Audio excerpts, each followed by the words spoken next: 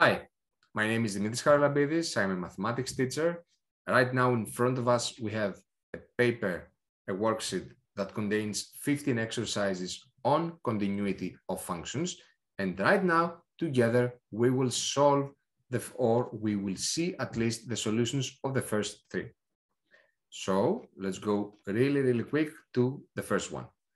A function f is defined as a piecewise function and it is equal to x squared minus 1 over x minus 1 when x is different than 1 and when x is equal to 1 it's equal to 2 the question here states is the function continuous at x equals 1 well for a function and specifically for f to be continuous at x equals 1 the condition that should be met is that the limit of f of x when x tends to 1 should be equal to the value of f at 1, should be equal to f of 1.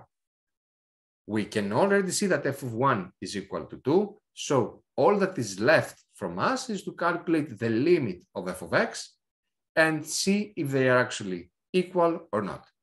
The limit of f of x when x tends to 1 is equal to the limit of x squared minus 1 over x minus 1, and we know that our first approach when it comes on working with limits should be simply substitute. If we do that here, if we substitute x by 1, we would get 0 over 0. And this practically means that we wouldn't be able to do much.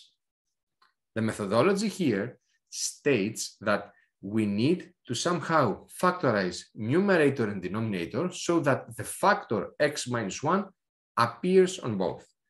We can already see that factor in the denominator's place. But regarding the numerator, we can see that it's just an easy case of difference of squares. Indeed, x squared minus 1 can be written as x minus 1 times x plus 1. This means that if we actually write this, the x minus 1 brackets will be simplified and we will be left with the limit of x plus 1. Now we should substitute and we would get that this limit, which is actually the limit of the f of x, is equal to 2. This means that our initial condition is indeed met, which makes function f continuous at x equals 1. Let's move to exercise number 2. Once again, we have another piecewise function. This time, f of x is equal to x squared minus 1 over x cubed minus 1 when x is different than 1. And when x is equal to 1, it's equal to 1 half. Is f continuous at x equals 1? Once again, we have to prove this right or wrong through the definition. We can see that f of 1 is equal to 1 half, and now we need to consider the limit of f when x tends to 1 that should be equal to limit of x squared minus 1 over x cubed minus 1. And again, by directly substituting 1 instead of x, we would get a 0 over 0, which means that once again, we need to somehow factorize the numerator and the denominator separately so that x minus 1 appears. In the numerator, x squared minus 1 is the difference of squares. So it can be written as x minus 1 times x plus 1. However, in the denominator's place, we have the difference of cubes. We should know that a cubed minus b cubed is equal to a minus b times a squared plus ab plus b squared.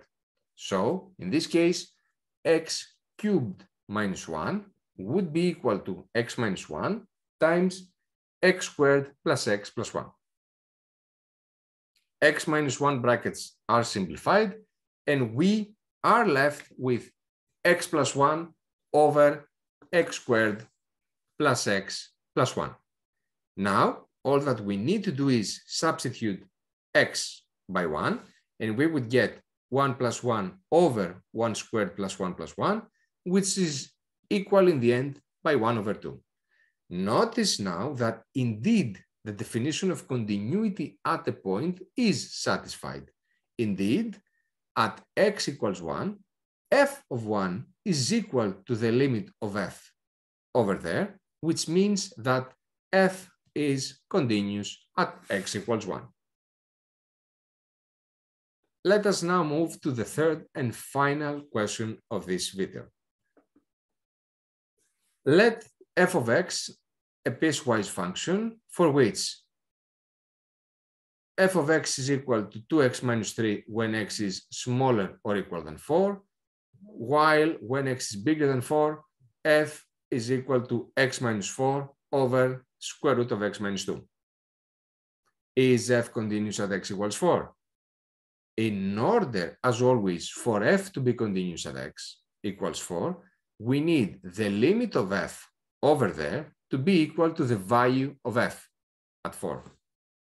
Since, however, here, in our case, at x equals 4, f changes its formula, we have to consider side limits in order for the limit of f to actually exist at x equals 4. I'll begin with the side limit from the left, lim of f of x when x tends to 4 from the left. That would be equal to the limit of 2x minus 3, which by substitution leads to the value of 5. Then I'm continue with the side limit from the right. Lim of f of x when x tends to 4 from the right should be equal to the limit of x minus 4 over square root of x minus 2. By substituting, we would still get 0 over 0, but here we have to apply an extra methodology. Still, we need to somehow bring up the x minus 4 factor, but in order to achieve that, since we have radical expressions, we should multiply by the radical expressions conjugate. In our case, the radical expression is square root of x minus 2. Its conjugate should be square root of x plus 2. So what I did was multiply both numerator and denominator by square root of x plus 2.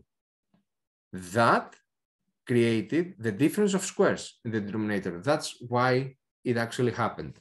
So we would get square root of x squared minus 2 squared, which is equal to x minus 4.